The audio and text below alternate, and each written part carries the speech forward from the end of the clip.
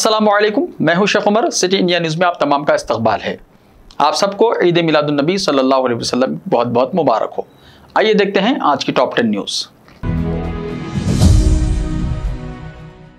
صدر کل ہند مجلس اتحاد المسلمین اور رکن پارلیمنٹ حیدرآباد بیر اثر اسد الدین اویسی نے کہا کہ ملک کے حالات ہمیں نبی پاک صلی اللہ علیہ وسلم کی مکی زندگی کی یاد دلاتے ہیں۔ ان حالات میں امت مسلمہ کو اخلیت ہونے کے خوف سے نکل کر مکی زندگی سے درس حاصل کرتے ہوئے صدق و امانت، صبر و استقامت کے علاوہ ٹکراؤ کے بغیر دعوت پر توجہ مرکوز کرنے کی ضرورت ہے۔ مجلس کے صدر دفتر دارالسلام میں منعقدہ جلسہ رحمت اللہ عالمین صلی اللہ علیہ وسلم سے خطاب کے دوران بیر اثر اویسی نے یہ باتیں کہیں۔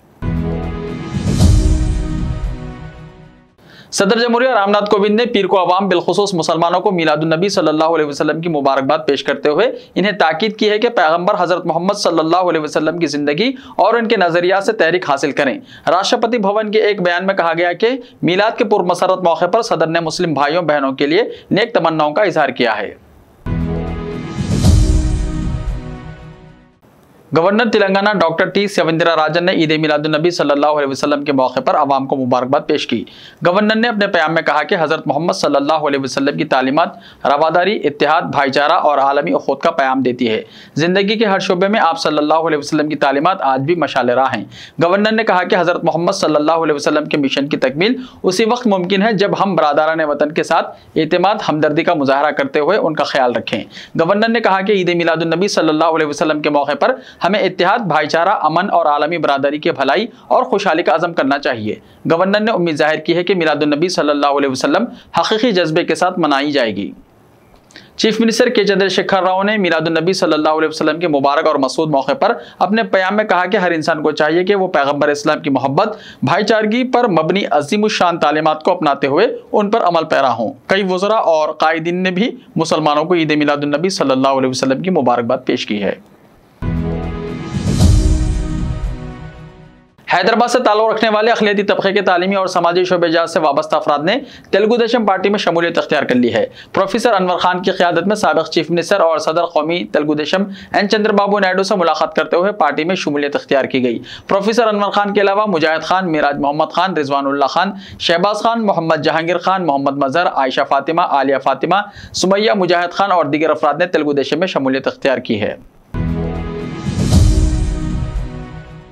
حضور آباد کی انتخابی مہم میں پہلی مرتبہ کانگریس نے اپنی طاقت کا مظاہرہ کیا۔ General secretary incharge Telangana Manickam Tagore نے آج حضور آباد کا دورہ کرتے ہوئے پارٹی امیدوار بی وینکٹ کی انتخابی مہم میں حصہ لیا۔ مانکم ٹائگور کے ہمراہ اے آئی سی سی تشہیر کمیٹی کے صدر نشین، مدھو پاش کی گوڑ اور سابق رکن پارلیمنٹ کریم نگر پونم پربھاکر موجود تھے۔ مانکم ٹائگور نے روڈ شو کا اہتمام کرتے ہوئے رائے دہندوں سے اپیل کی ہے کہ وہ تیس اکتوبر کو کانگریس کے حق میں اپنے ووٹ کا استعمال کریں۔ حضور آباد ضمنی چناؤ سے عین قبل برسر اقتدار ٹی آر ایس کو اس وقت دھکا لگا جب الیکشن کمیشن نے رائے دہی کی تکمیل تک دلت بندھو اسکیم پر عمل آوری روکنے کی ہدایت دی ہے۔ حکومت نے پائلٹ پروجیکٹ کے طور پر حضور آباد میں دلت بندھو اسکیم کا آغاز کیا تھا۔ Chief electoral officer doctor Shashi Naik Goel نے اسکیم پر عمل آوری کے سلسلے میں الیکشن کمیشن سے وضاحت طلب کی تھی۔ کمیشن نے آج اپنے مکتوب میں اسکیم پر عمل آوری رائے دہی کی تکمیل تک روکنے کی ہدایت دی ہے۔ تلنگانہ میں کورونا کے کیسز میں بتدریج کمی آ رہی ہے۔ محکمہ صحت کی جانب سے جاری کردہ بولیٹن کے مطابق گزشتہ چوبیس گھنٹوں کے دوران چھبیس ہزار چھ سو چھہتر کورونا کے ٹیسٹ کیے گئے ہیں، جن میں ایک سو بائیس افراد کورونا سے متاثر پائے گئے اور ریاست کے دس اضلاع میں کورونا کا ایک بھی پازیٹو کیس درج نہیں ہوا۔ جی ایچ ایم سی حدود میں پچپن کورونا کے مثبت کیسز درج ہوئے ہیں۔ ماباقی اضلاع میں دس سے کم مثبت کیسز درج ہوئے ہیں۔ ریاست میں ابھی تک دو کروڑ ستر لاکھ بائیس ہزار ایک سو ستاون کورونا کے ٹیسٹ کرائے گئے، جس میں چھ اشاریہ چھ آٹھ لاکھ افراد کورونا سے متاثر ہوئے۔ تین ہزار نو سو اڑتیس افراد فوت ہوئے۔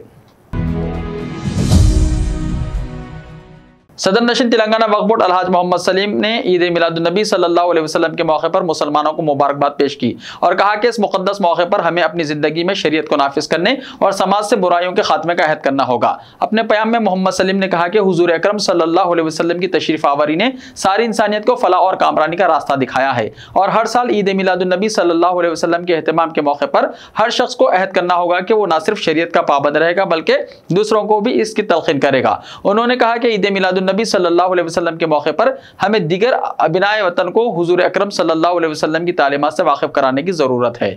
اسلام نے امن بھائی چارہ اور اخوت کی تعلیم دی ہے۔ صدر نشن وقف بورڈ نے سماج میں بڑھتی برائیوں اور جرائم کے واقعات میں اضافے پر تشویش کا اظہار کیا۔ انہوں نے کہا کہ اسلامی تعلیمات سے دوری کے نتیجے میں مسلمان آپس میں ایک دوسرے کے خون کے پیاسے ہو چکے ہیں۔ معمولی تنازعات پر قتل کے واقعات شرمناک ہے انہوں نے سماج میں برائیوں کے خاتمے کے لیے علماء اکرام اور آئمہ اور معزنین کے ساتھ انخریب اجلاس طلب کرنے کا اعلان کیا۔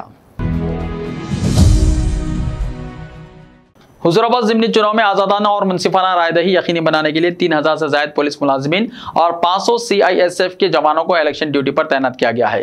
حضور آباد ضمنی چناؤ اگرچہ عام چناؤ ہے کی طرح ہے، لیکن ٹی آر ایس اور بی جے پی کے ٹکراؤ کے نتیجے میں نہ صرف انتخابی مہم بلکہ رائے دہی کے دن دونوں پارٹیوں کے درمیان ایک ایک ووٹ کے لیے جد و جہد کا ماحول رہے گا۔ ضلع نظم و نسق نے لا اینڈ آرڈر کی صورتحال کو بگڑنے سے بچانے کے لیے سخت حفاظتی اقدامات اٹھائے ہیں۔ Deputy commissioner police S Srinivas کے مطابق سینٹرل انڈسٹریل سیکورٹی فورس کے جوانوں کے ذریعے فلیگ مارچ کا اہتمام کیا گیا تاکہ عوام میں اعتماد بحال کیا جا سکے۔ انہوں نے بتایا کہ حضور آباد اسمبلی حلقے میں تقریباً تین ہزار پولیس ملازمین کو تعینات کیا گیا ہے۔ ان کے علاوہ سی آئی ایس ایف کے پانچ سو جوانوں کی خدمات حاصل کی گئی ہیں۔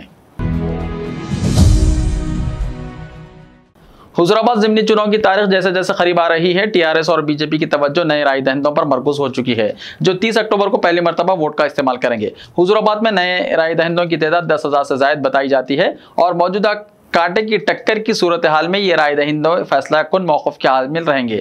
ٹی آر ایس اور بی جے پی ان منتخبی مہم میں کوئی کوتاہی نہیں کر رہی ہے اور گاؤں گاؤں پہنچ کر قائدین رائے دہندوں سے شخصی طور پر ربط پیدا کر رہے ہیں۔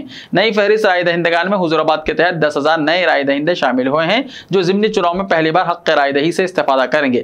بتایا جاتا ہے کہ نئے رائے دہندوں کی تفصیلات حاصل کرتے ہوئے ان سے ربط قائم کیا جا رہا ہے۔ ایسے ہی تازہ ترین خبروں کے لیے ہمارے یوٹیوب چینل کو سبسکرائب کرتے ہوئے اس کے بیل آئیکن کو پریس کر لیجیے۔ ملتے ہیں کل، تب تک کے لیے اپنا خیال رکھیے۔ اللہ حافظ۔